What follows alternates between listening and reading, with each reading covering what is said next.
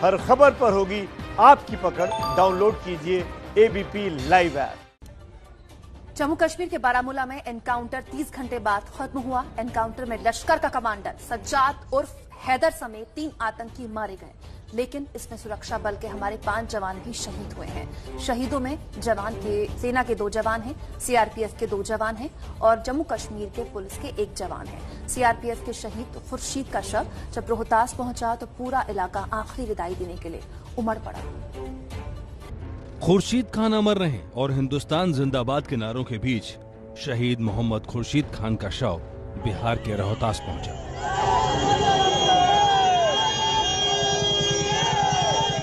पहली तस्वीर, जब सड़कों पर तिरंगा लिए जनसैलाब उमड़ पड़ा, क्योंकि रोहतास का लाल लौट रहा था। शहीद का शव लिए गाड़ी के आगे पीछे बाइक रैली चल रही थी।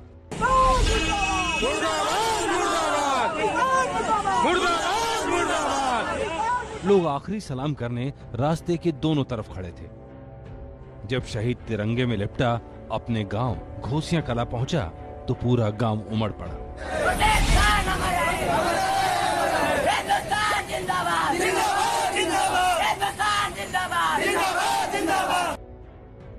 हर कोई शहीद खुर्शीद के साथ आखिरी तस्वीर लेना चाहता था। कोरोना काल में किसी को अपनी जान की परवाह नहीं थी।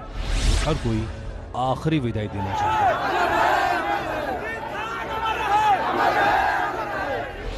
शहीद खुर्शीद उन पाँच शहीदों में शामिल हैं जिन्हें पाकिस्तान की नापाक साजिश का शिकार होना पड़ा। खुर्शीद भी बारामूला में तैनात थे।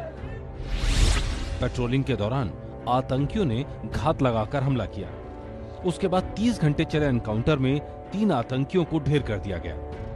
ये उस आखिरी धमाके की तस्वीर है जो आतंकियों के सफ़ाई की निशानी है।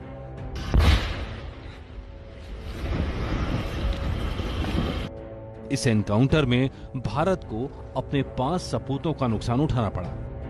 शहीद खुर्शीद की शहादत को सलाम करने के लिए सीआरपीएफ और पुलिस के अधिकारी भी पहुँचे।